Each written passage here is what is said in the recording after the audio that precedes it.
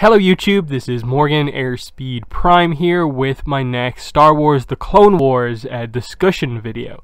This one is going to be all about Season 5, the last, I suppose, normal season of The Clone Wars that we had before the show got cancelled. Um, so, this is a very interesting one in that you really have to go back to like what was kind of happening at the time like you know this is in or around when like disney had first bought lucasfilm bought the star wars franchise and yeah it's just this weird thing where like yeah one of the first things that they did was to cancel the clone wars.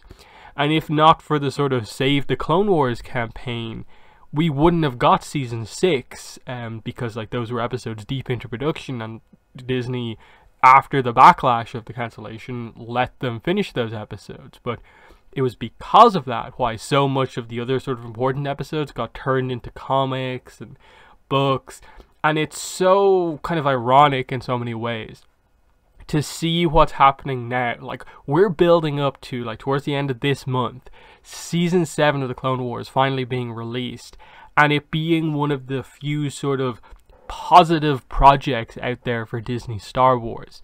Uh, and, you know, it's just funny to look back that, oh yeah, like one of their first things coming in was canceling this show.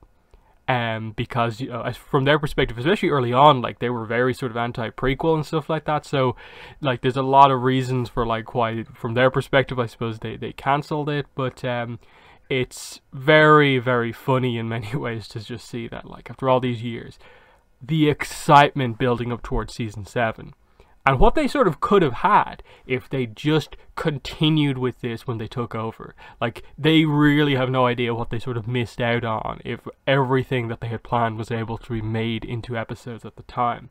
But uh, we'll, we'll, we'll see how season 7 plays out when we get there. It's just interesting to look at what's happening here, given the that this, for a time, was sort of the ending of the show. Um, but anyway, let's get into it here. So we have a 20 episode season, down two episodes from all of the previous seasons, which were 22 episodes.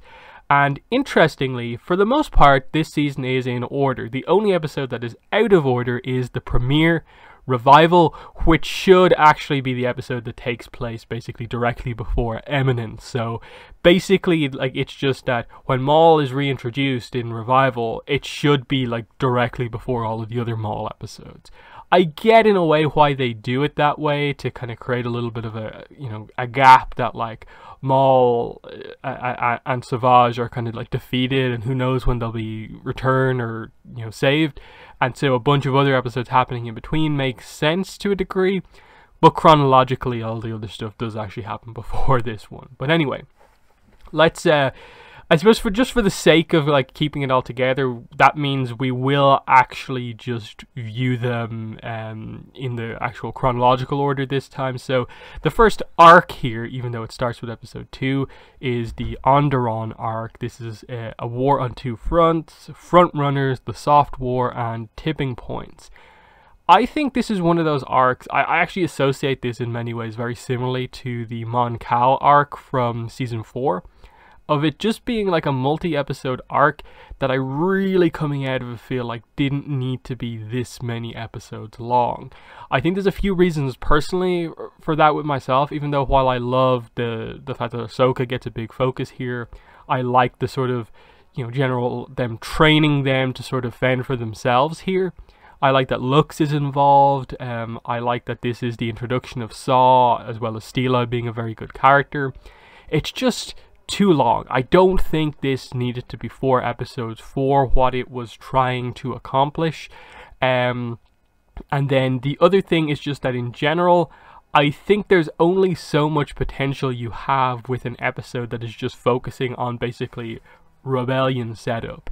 This was, I think, one of the huge problems I had with just Star Wars Rebels was like them expecting you to care about the minor details of the setting up of a rebel cell and it just taking so long when what you care about more is the character dynamic stuff rather than just you know here are the fighters we need to build a rebellion here's this to build a rebellion. Um, this one works you know to a degree but like i said it should have been maybe three episodes at the most didn't need to be four. You know i, I like the character stuff here of just you know Steela and Lux kind of getting into a relationship and Ahsoka kind of being on the outside, ha- having previously sort of had the sort of you know blossoming dynamic with Lux, but you know. I suppose it's her sort of encountering that whole, you know, Jedi thing of like it, it, it couldn't happen at this point. Um, but uh, anyway, you know, I think it's just an example of like a lot of the, the, the actual villains in this arc I don't think quite stand up that much. And while you get a very, very emotional kind of final moment with like the death of Steela and Ahsoka managing to rescue Lux, but like being kind of, you know, shot basically as, you know, she's trying to save Steela, it's just this very sort of tragic end, but like it, it, it works I, it's just not my favorite arc. I suppose is probably the best way to say it. Um, moving on to the next arc. It's another four episode arc. This is the sort of uh, Gathering or the Jedi Younglings arc. Uh, and the episodes here are The Gathering, A Test of Strength, Bound for Rescue, and A Necessary Bond. Rewatching this fairly recently, I actually really liked this arc. I always liked it at the time, um, but it really went up here on the rewatch for me. The first episode is great in that, you know, just Ahsoka and Yoda bringing them to Ilum. They're going to build their lightsabers, so they first have to get their crystals. And it was just so great meeting all these different characters. You know, we have a Wookiee Jedi youngling and all this sort of stuff. It, it, they're just a nice group of kind of unique characters. They're using, you know, species that we know. There's an Ithorian there and so on.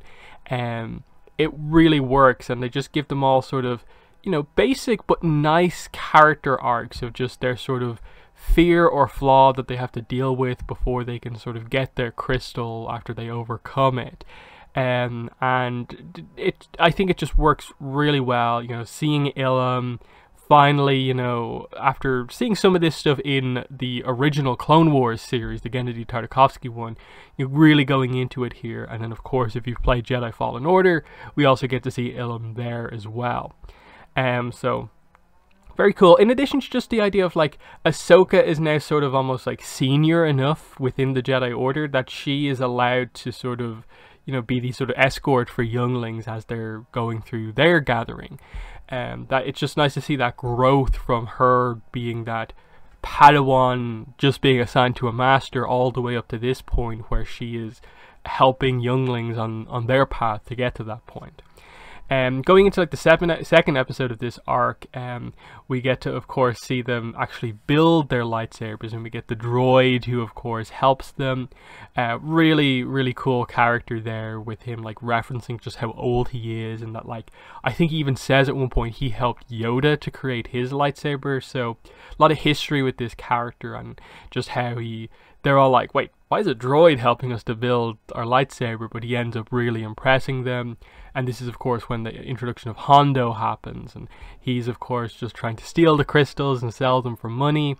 And it's that typical dynamic with Hondo of like he can be the criminal, but he can also be very charismatic. And I like what they do with him over the course of this arc of like you see Ahsoka being the sort of guardian over the course of this arc, trying to help all the younglings, but um, she of course you know gets sort of captured on her own in trying to save everyone and so the younglings have to sort of team up together and um, you know make it all happen. They have to be the ones to rescue Ahsoka, and then you know Obi Wan is trying to get there, but you know he's dealing with Grievous in the background, and then Grievous is on Florrum and you know they're all just trying to get out because Grievous is here. Um, I I think there's some very fun arcs here.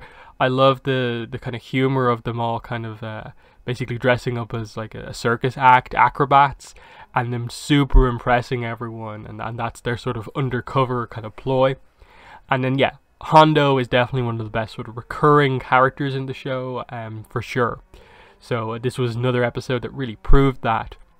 Um, next up, we have another four episode arc here in um, the sort of the droid, the Meebur Gascon arc, whatever way you want to call it.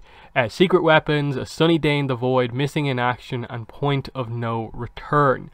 This is another arc where why on earth was this one four episodes? I think a lot of people will cite this as probably being one of, if not the worst arcs in the Clone Wars, in that I think for sure it is the worst arc that has this many episodes. There's there's been like a few ones where it's like a solo episode that's not great, or maybe a two-parter that's not great, but here's a four-part arc that has very few, I think, really outstanding moments. I still think there's some potential in this, which is why I, I don't say like this is just a complete arc that should be dropped. I get the idea of like having this kind of commander who thinks he's amazing, but they're actually just sort of using because of his size and teaming him up with some droids on this mission that's like important and they need a very specific squad for. Uh, and just making him feel super important and kind of it just going awry. And the dynamic of like him really not being into droids that much but the droids ending up really impressing him with just how sort of unique and different they all are and that they're not just you know their programming basically. And it touches on a few ideas even in like the weakest episode of the arc like a sunny day in the void. But this should have been at most two episodes. I, I think this would have actually been a fairly nice arc if it was only two episodes.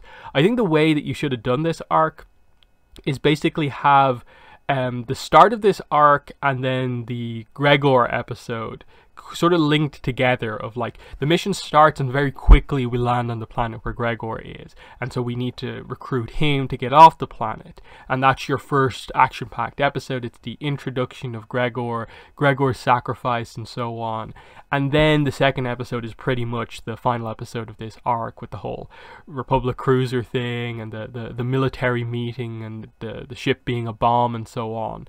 Because that worked very well and, and it gave a chance for some of the droids to kind of be heroes and especially you know how big of a hero moment for R2 this is and basically like sacrificing himself to save everyone and him just barely being able to be repaired and ending that arc with the idea that like he is able to really see them as his team and while he's frustrated by them especially Whack he grows to trust them all over the course of that arc.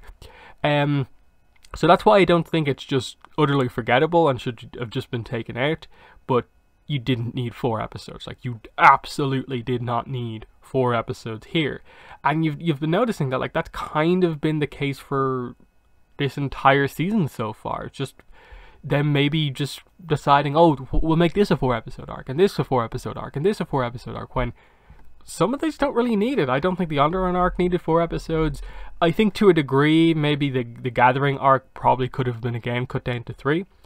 And again, like the, suddenly, all of a sudden, you've freed up like four or five episodes that could have been something else could have been done with. Uh, and that's just the way you have to look at this, given that some of the arcs had to be sort of cancelled because of when everything happened and so on. But, you know, that's just, you know, what could have been in a way. So, um, next up, this is where uh, revival is actually meant to take place. So um, this is, I suppose, this is an interesting arc here. That like we go back to Mandalore. It's basically like Maul's like defeat and then return, teaming up with the Death Watch, taking over Mandalore, and Obi Wan coming back into things. Um, it's the end of the sort of Obi Wan Maul rivalry for now but obviously Maul is still alive at the end of it all. So it's revival, the lawless. Um, uh, sorry, it's revival, eminence, shades of reason, and the lawless. That is the the four episode arc here, but it's a lot more sort of solo episodes in a way. So revival does sort of stand out on its own, and I think is a very strong episode because it is you know Maul and Savage you know stealing all this money and um, you know they kind of team up with Hondo and like they seemingly have those on guys on their side.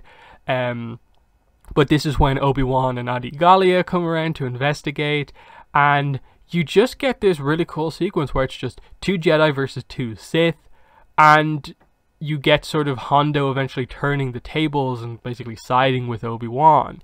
Um, and so it's this really intense battle, one of the best, I think, you know, fights in the entire series because Savage kills Adi Gallia, showing, you know, how much he's grown. He is able to kill a Jedi Master, I think a, a council member, I think Adi Gallia is. Um, and so she's killed here, leaving Obi-Wan to have to fight Savage and Maul on his own. and it's this really intense kind of battle because they set up the dynamic so well. Maul hates Obi Wan. Obi Wan knows he has to deal with Maul here, and then Savage also doesn't like Obi Wan. So he's in this incredibly bad situation that at the end of last season he had to have Ventress's help to get out of. So he has two lightsabers here. He does pick up Adi Gallia's lightsaber, so we see him uh, dual wielding here, and it works to his advantage. As you know, there's just this clever tactic over the course of the fight. Actually started off by Adi Gallia, that she tries to basically kick his leg out. So Adi Gallia kicks his, uh, I think it's his like right knee, and then Obi Wan over the course of the fight continues to do that. But it seems like Savage is holding up completely well because he's so huge. And then in the, the big lockup at the end, after he does so well to defend against them both, he finally kicks it and, you know, he basically kind of blows Savage's knee out and uses that injury to his advantage to cut Savage's arm off. And uh, this is what really turns the tide and that they suddenly need to escape and they're completely under fire by Hondo and everyone, and the tides are just completely turned against them. And it seems like Maul is just completely miscalculated here. His like uh, his new kind of robot legs are kind of destroyed in some of this and so on, and they're barely alive as they escape. So it's it's a really strong episode to just show like you know Obi Wan had to have the desperate escape in the last encounter. This time Maul and the press have to run away. What will be the next thing?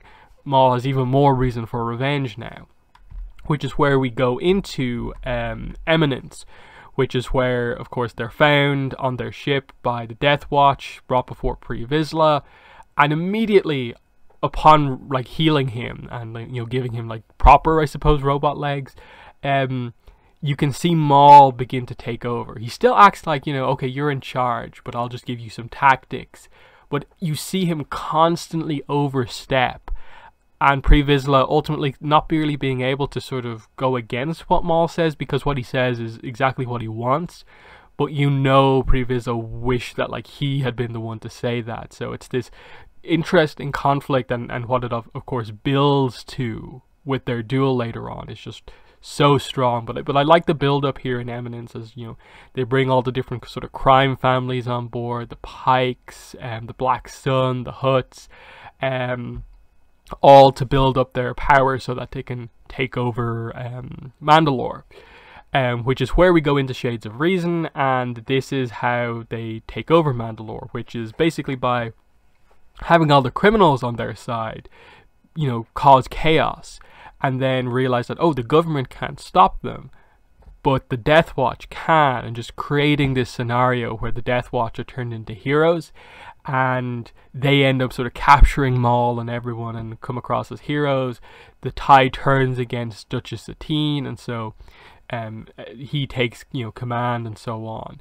Um, but the entire time you're going through this is like, who's going to betray who first? And basically, Vizsla uses this sort of fake capturing of everyone as more or less the way to properly capture everyone. But um, this is where we go into like the lawless and you know we get into the whole idea of their duel which is incredibly great the the whole dark saber coming back here this is where we see it change hands Vizsla uses it in the duel but of course he's killed by Maul and Maul takes over as the owner of the dark saber so uh, nice to follow that weapon given the Mandalorian connection now um, but yeah, this is where Obi Wan uh, comes into play here. He's going to Mandalore to check on what's going on, and interestingly, he, he he's not going there on an official mission, so he has to kind of do an Anakin on it and basically use one of Anakin's ship to get there in order to save Satine. And the whole time you're sort of thinking like, oh, they're really getting across the idea that like he he does care for her, and you really get into that idea of like back what he said of like, you know, if you had asked, I would have left the Jedi Order. So very very strong arc. Um, and yeah, like of course Obi Wan ends up being able to help to a certain degree initially, but then he ends up getting you know captured. This is where um, Maul kills Satine in front of Obi Wan, But the speech, I suppose, that they have, the back and forth Maul and Obi Wan have, is also you know pretty telling of just it is Obi Wan committing above all else that I am a Jedi. Jedi by default, you are stronger than the Sith because of their different approaches, and you can tell Maul is frustrated by the fact that he can't break Obi Wan here. Um, but of course, this is where Bo Katan comes in again. Bo Katan left after Maul killed Vizsla. She refused to, uh, you know, you know, be underlings to him. And this is this this episode is the setup for basically the siege of Mandalore, effectively, in that as we kind of end this arc, it's complete war, chaos on Mandalore.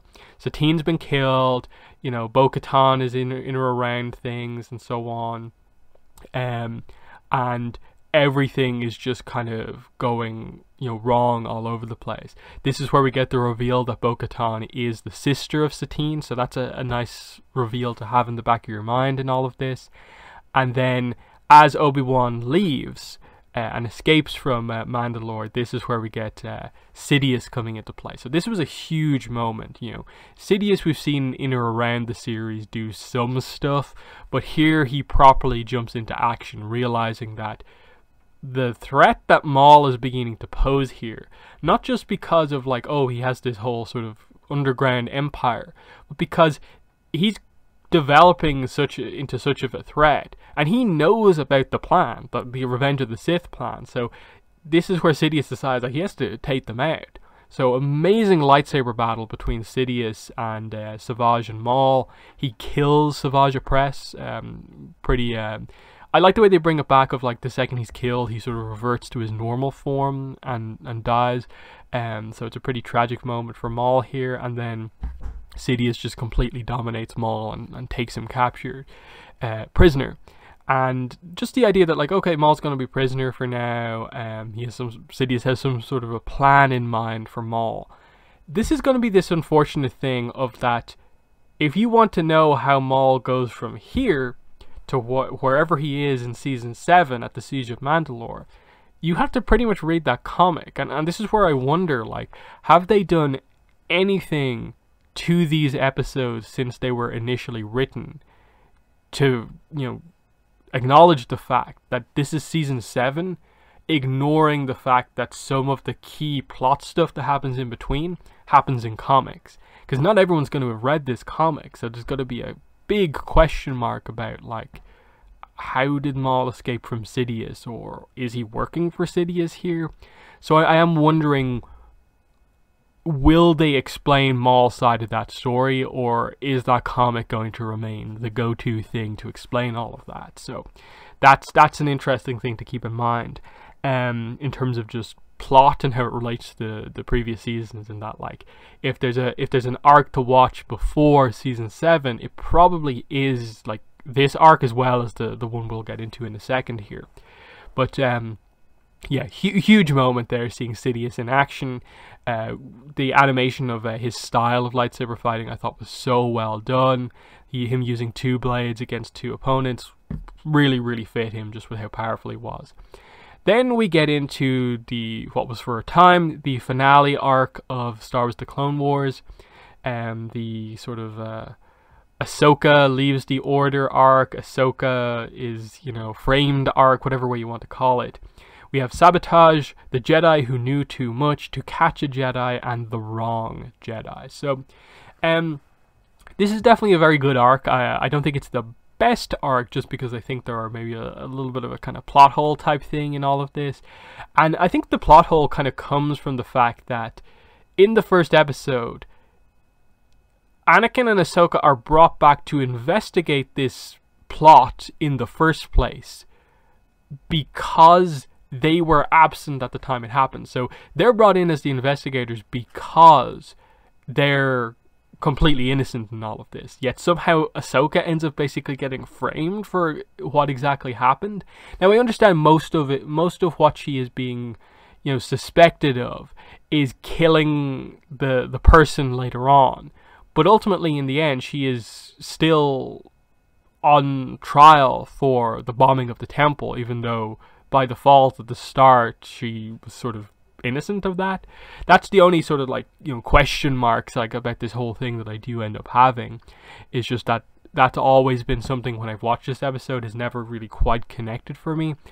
But part of this is meant to sort of be the corruption in all of this. That this is that this is sort of um, another thing that ultimately Palpatine, who is friends with Tarkin, is sort of engineering to happen to have Anakin distrust the Jedi Order for not trusting Ahsoka, to sort of take Ahsoka out of things by, you know, having her question so much that that you're meant to view it as it being this whole big conspiracy, uh, as much as you know the, it doesn't overly present it in that way, but that is the the case.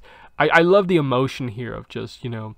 Ahsoka knowing she hasn't done anything and, and her, her arguing for herself and and Anakin just believing the whole time that she hasn't done anything, but knowing that like kind of understanding why she's running, but also knowing that like he has to try and get her back to, uh, because he's going to do everything to try and exonerate her, to, to free her from from what's going on here. And it's just a cool sequence of like you get to see Ahsoka running away from the clones, them all using the the stun blasters because of course no one's trying to kill anyone here, and then she's forced to actually, you know, team up with Asajj Ventress, which is a really cool dynamic. Like we've only seen them interact a couple of times, but here they are actually teaming up, um, and you know, it's, it's actually a nice dynamic here as it of course builds into the idea of like setting up ultimately Barriss as being the one behind all of this, and as we go into the last episode and like Ahsoka ends up getting captured and is put on trial, and you see the Jedi Council expel her from the Order with the idea that like I think all except a handful of them uh, agreed to it. I think with the idea that like you know Obi Wan and probably Plo Koon were two of the few that said no to it.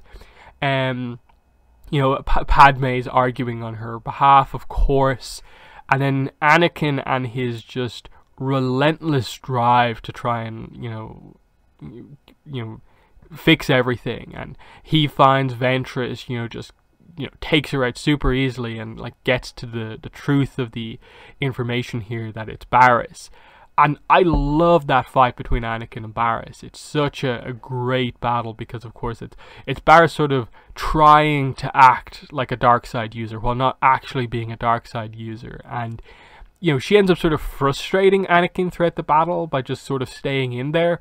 But like the second he has the, the, the space and time to really go at her, he just, you know, really kind of bursts through and just uh, takes her out. So very, very cool final battle that just shows the, the strength of Anakin as we get closer and closer to Revenge of the Sith. And it's such a cool moment as he just you know interrupts the trial you know and just confirms to everyone this is who's actually behind it. Ahsoka is uh, innocent and how oh finally it's, it's all coming to an end but they turn it around and it's like ahsoka is allowed back into the jedi order but chooses not to accept it chooses to leave and try and figure things out on her own outside of the jedi order.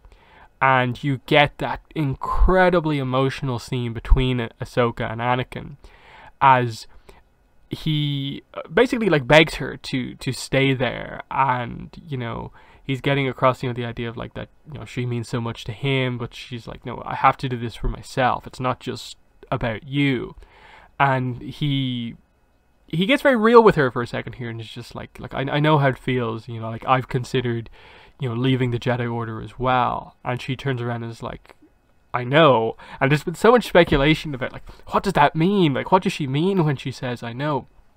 And I think it's clear enough that Ahsoka, pretty much at this point, five seasons in, most people figure that she has to know eh, he and Padme are in a relationship. There's just no way she's interacted with the two of them individually for enough time and as well as been around when they've been together that she couldn't know that they're a couple or there's something going on or that at the very least Anakin had considered leaving to be with her or something like that. She may not know the full story, but that she understands what would kind of cause him to leave. Um, and she just has to figure things out on her own. And it's a very, you know, impressive ending in that sense, and that they, for so long, like this was just, this was it. Like we we had like basically a whole year of this being the end of the show of just Ahsoka is not part of the Jedi Order, and it's like we're so close to Revenge of the Sith. Like, what what happens with Ahsoka? Does she survive? Or like we had so many questions because of course Rebels didn't happen until a few years later and stuff like that. So it was really you know cool to see all of that happen. And as well as that, you know, it, it's her betrayal, like uh, being betrayed by Barriss, the fact that the Jedi Council ultimately didn't have that sort of faith and trust in her, and it was kind of only Anakin in many ways that really, really stood up for her, um, and it's it's very powerful. It's just like it is that unfortunate thing of like even counting season six, we didn't ever get that arc of like what she was doing outside, which is where season seven is going to come into play. In that we know at least one of the arcs, or at least set up for one of the arcs, is going to be just Ahsoka on her own outside of the Jedi Order, just being a citizen, I suppose, and figuring things out, and and that's going to be interesting to see what she does and how she is eventually brought back into things for the siege of Mandalore and, and how much like implication of how much time has passed happens and so on. That's where like season seven is really going to have its strengths. Um, but yeah, I, I do very much like the arc outside of just a little bit of sort of like the writing isn't as like good as maybe you'd expect it to be, given that it is a final arc. It just feels like they should have been able to fill out some of those kind of plot holes a little bit better than they did, but it doesn't get too too much in the way of the arc for me. Um, but uh, yeah, that's uh, season five of the Clone Wars, the last sort of big season we've had. You know, with more than like 13 episodes, and then we're getting I think it's 12 for season seven. Um, so it's going to be pretty interesting. So yeah, um, yeah, we'll we'll cover season six in the next video, and of course I'll also have a sort of preview video ahead of uh, season seven. Like I said before, I will be reviewing each episode of season seven as it airs. I think we, I think at this point we now have official confirmation that the episodes are going to air weekly, like The Mandalorian. We're not just getting the entire season at once. It's uh, it's airing one a week, so that's uh, I think that's ultimately a good move to build excitement. Uh, in that, like we're we're gonna get in there. I think with the Bad Batch arc initially, uh, so it's gonna take you know three four episodes before we finally get into Ahsoka in season seven, and that is gonna be pretty exciting when we finally get there. So um, yeah, there are my thoughts on the Clone Wars season five. In the comments, let me know what your thoughts were. But that has been the video. Thanks for watching, and bye.